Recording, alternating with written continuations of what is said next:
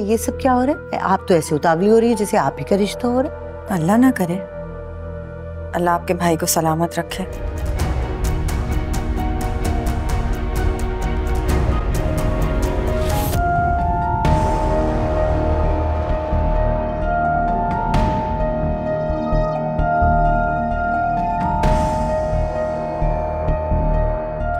मैंने उनको कह दिया कि उनकी उम्र का लिहाज कर रही हूँ। और ये कह दिया कि पैसा तो बहुत है लेकिन तमीज़ नहीं है।